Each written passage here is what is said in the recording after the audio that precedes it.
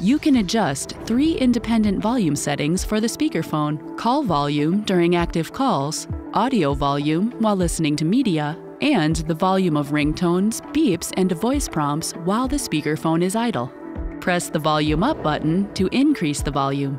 The status LEDs and volume will increase by half a step with each press of the button. To lower the volume instead, press the volume down button. The status LEDs and volume will now decrease by half a step with each press of the button. To mute the microphone on the speakerphone, press the mute button. The status LEDs will light up red. To then unmute, press the button again.